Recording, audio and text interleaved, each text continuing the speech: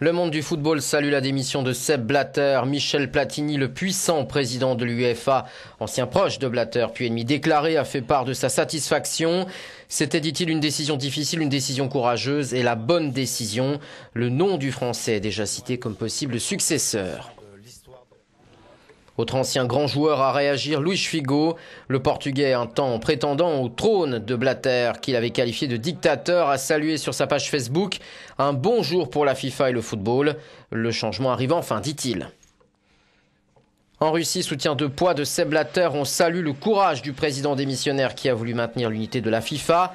Vladimir Poutine avait salué son expérience et son autorité. Seb Blatter pourrait même peut-être rebondir pour l'organisation de la Coupe du Monde 2018 en Russie, selon le ministre des Sports à Moscou.